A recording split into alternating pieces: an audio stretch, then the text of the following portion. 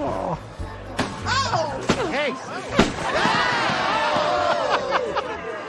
Are those potatoes? Do people know they have candy in Ireland? Shh, we're not questioning it. Great party, Glenn. Oh.